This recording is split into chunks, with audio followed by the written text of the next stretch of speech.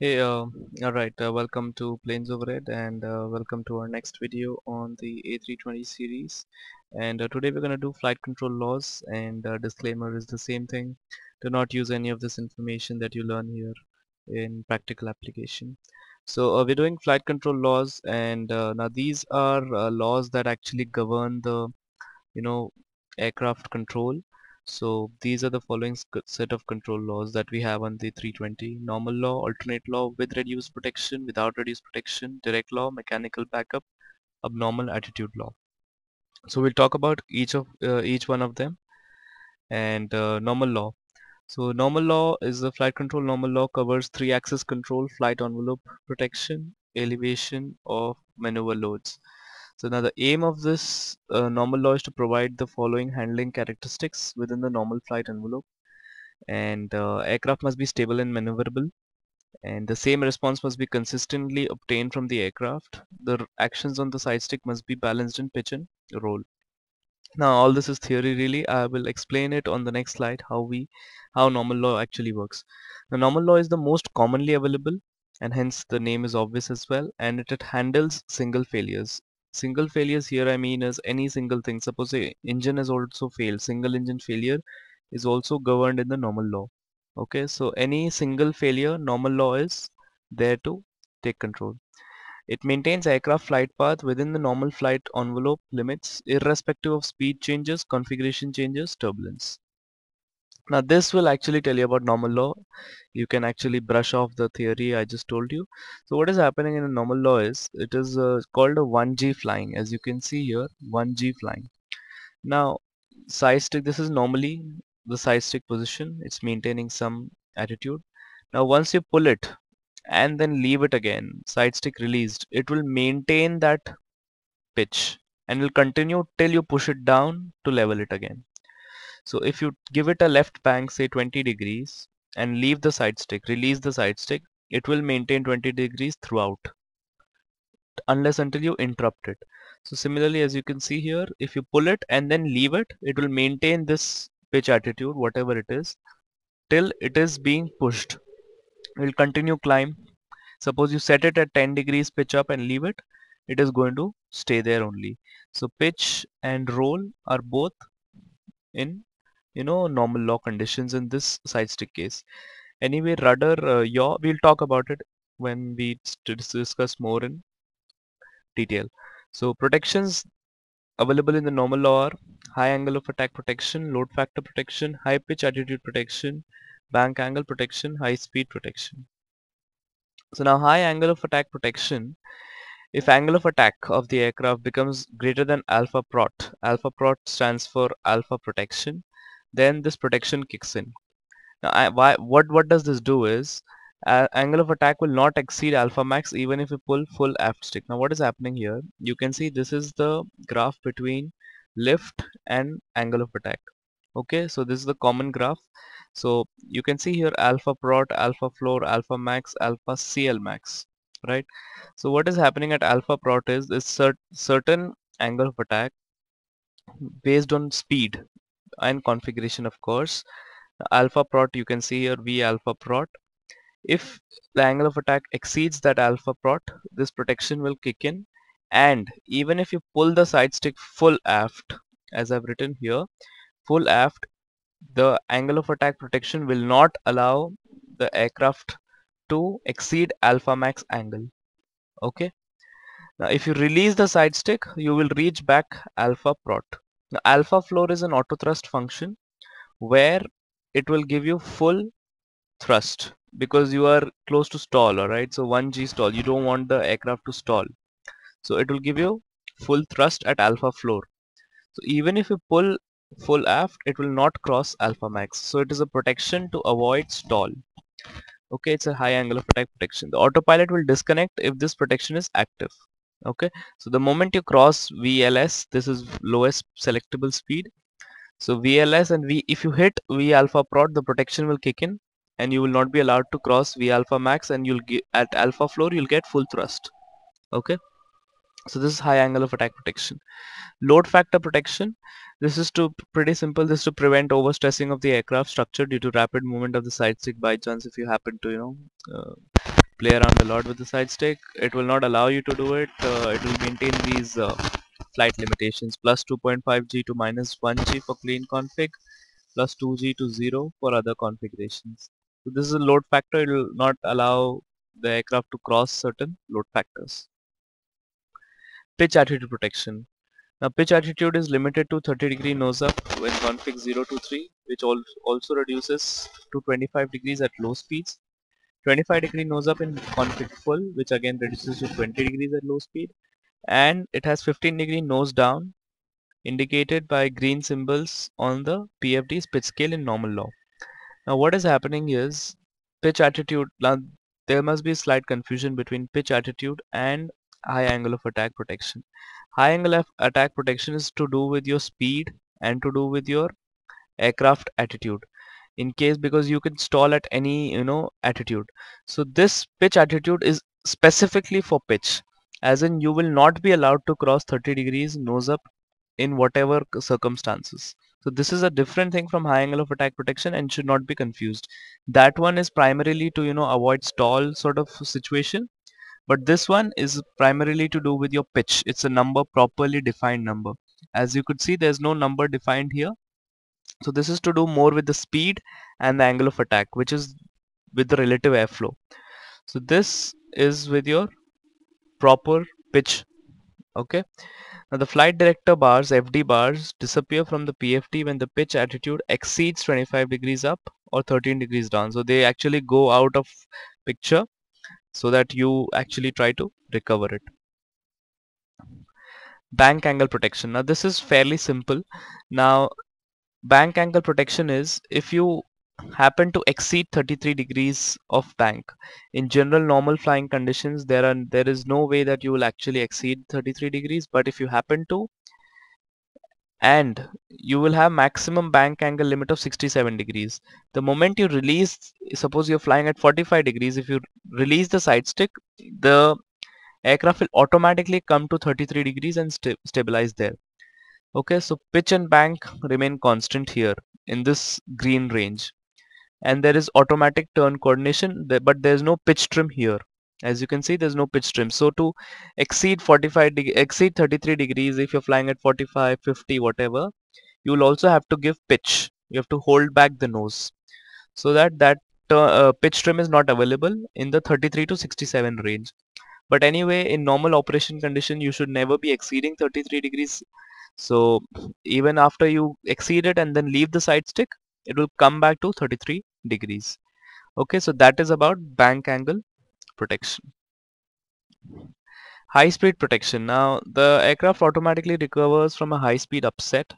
So what is happening is if you have a, depending on the flight conditions so high acceleration low pitch attitude high speed protection is activated at or above VMO and MMO okay? So maximum operating speed that is. So what is happening is if your speed is at or above VMO or MMO Mach number maximum Mach operating number the side stick nose down authority is progressively reduced and a permanent nose up order is applied to aid recovery. So if you're a high speed you'll have low pitch of course as you can see here. So there will be a nose up order that is introduced into the aircraft so that it can try to recover to the normal flight conditions Another important thing, autopilot disconnects when this protection is active and the overspeed warning gets activated on the ECAM. It's permanent warning and uh, till you actually reduce the speed it will not move away. And it will be activated at VMO plus 4 knots and MMO plus 0.006 okay. Now let's talk about alternate law. Now we've discussed the normal law. So normal law is very simple to fly. It is next to autopilot actually I would consider the same as autopilot. You just have to uh, leave the side stick at whichever pitch or bank you want to and it will do it'll uh, you know yaw damp and turn coordinate pitch trim everything will be done automatically. So now what happens in alternate law? In some double failure cases suppose you you know you have lost two mm, systems.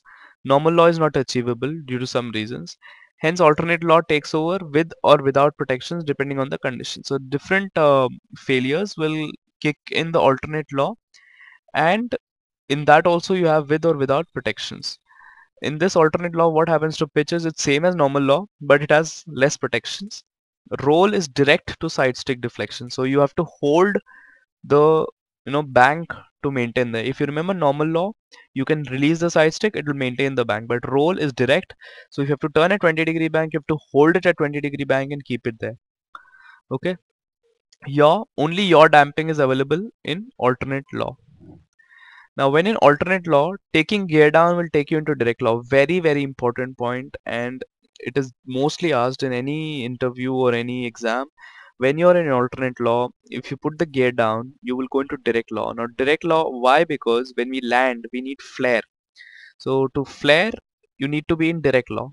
So that is why when in alternate law when you take the gear down you will be into direct law. So generally when uh, if uh, during your training you will understand that when you are flying in alternate law you will actually take the gear as late as possible closer to the runway now let's talk about alternate law with reduced protections. Now with reduced protection, what is happening is there is load factor limitation, which is similar to that of the under uh, normal law. There's something called as low speed stability. Now in low speed stability replaces the normal angle of attack protection. If you remember angle of attack protection in the normal law, it is not in this alternate law. So it is a low speed stability. It is available for all slat flap configurations and a, a gentle progressive nose down signal is introduced though the pilot can override this demand. Now there is something called as high speed stability. So this is similar to high speed protection but little different. A nose up demand is introduced. The only difference is the pilot can override this demand. In that normal law you cannot override it. High speed protection will be active. Okay. So this is same as VMO or MMO nose up demand is introduced. Now important thing about uh, with reduced protection is there is no bank angle protection and pitch attitude protection. The autopilot will disconnect if speed exceeds VMO and MMO or if the bank angle exceeds 45 degrees. Okay, so there is no bank angle and pitch attitude protection in the alternate law with reduced protection. Alternate law without reduced protection. Now this is identical to alternate law except that it does not include the low speed stability or the high speed stability. It includes only the load factor limitation. Now at the end of the video I'll tell you few conditions where this will be active, where this will be active. There are different conditions that will lead you into alternate law with and without reduced protections. Direct law, in triple failure cases direct law triggers. Now what is happening is normal law can handle single failures alternate can ha handle dual failures direct law can handle triple failures. Now in this pitch is direct to side stick deflection roll is also direct to side stick deflection yaw is mechanical via the rudder. Okay? Because uh, you can see the name itself suggests direct so it's all the side stick is working directly. So you have to hold the pitch and the bank to maintain. Because normal law you can release the side stick but not in this. There are no protections available. There is no yaw damping turn coordination no auto trim. Overspeed and stall warnings are still available like in alternate law. Okay but there are no protections available. You really do not want to be entering direct law. It is more like flying a Cessna on the Airbus A320 Okay, we have another one called the mechanical backup. And the mechanical backup enables the pilot to control the aircraft during a temporary complete loss of electrical power. Suppose you've lost electrical power, you'll enter into mechanical backup law where your side stick will not be working. Okay, so what happens is pitch is available only via the manual pitch trim wheel on the center pedestal and yaw is via the mechanically via the rudder. If you remember the flight control video, the previous one I talked about, I was telling the THS and the rudder are the only ones that are mechanically linked. So via this pitch trim wheel and the yaw mechanical rudder, you can control the aircraft to a good extent. And uh, roll, because uh, roll is anyway side stick is not available. So we will be using yaw as a secondary effect. I mean roll as a secondary effect of yaw. Okay. There's another one called abnormal attitude law and here uh, it is uh, it rarely happens. And I mean I don't think it has happened also. Uh, in an extraordinary unpredictable external event suppose like an example is uh, a mid-air collision if you have happened to have where I mean you are there are chances that you're surviving. So the flight parameters may go far beyond the limits of the protected envelope. And in this case specific control laws are activated to ensure aircraft recovery and to allow safe continuation of flight. Okay so what happens in this is uh, uh, you know these are all uh, numbers here it will kick in when bank angle is above 125 basically you're spinning. Pitch attitude is above 50 degree nose up or below 30 degree nose down. Again you're just falling out of the sky maybe. Uh, speed is below 60 to 90 knots or above 440 knots. These are all high speeds very low speeds for the aircraft to fly. Mach above 0.901 angle of attack above 30 to 40 degrees or below minus 10 so all these you know conditions then your abnormal attitude law will come in. And your pitch is alternate without reduced protection roll is direct to side stick yaw is mechanical while the you i mean this is something that really uh, uh, airbus is given as a you know law but i don't think uh, you'll be actually in a situation where you'll have to fly all this because these are these are big numbers. Okay now this is what I was talking about. Now this is like the master diagram for the flight control laws. So what is happening here is on the top you can see pitch, roll and yaw are in normal law at the moment. Now suppose you have some failures here as you can see here. Double ADR, double failures, you know, double FAC failure, double IR failure and all of this. So what is happening? There are certain failures which will get you into alternate pitch will be in alternate, no protection, direct yaw will be alternate. Okay? So you get into because of these failures these certain failures side stick failure you will go into alternate reduced protection direct roll will be indirect yaw will be alternate. Okay? Now there are certain the most commonly asked question is always in the 320 exam is in normal law if both your radio altimeters fail radio altimeters failure both of them you will go directly into direct law pitch is direct, roll is direct, yaw is alternate via the you know rudder. So this is very important question generally asked.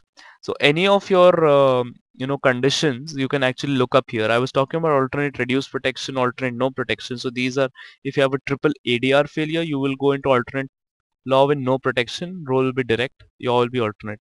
But if you have something like a double hydraulic failure, green plus yellow, yaw damper failure, you will get into alternate reduce protection roll will be direct yaw will be mechanical. I mean it's uh, not humanly uh, possible to remember all of this but there are important points to remember. Suppose this one and also this autopilot lost. So in these conditions on the top your autopilot will not function. But if you have loss of all spoilers or triple sec failure your autopilot is still available. Though you will be in pitch alternate reduce protection roll will be direct yaw will be alternate okay. So this diagram is uh, quite uh, it's like the master diagram for the flight control laws.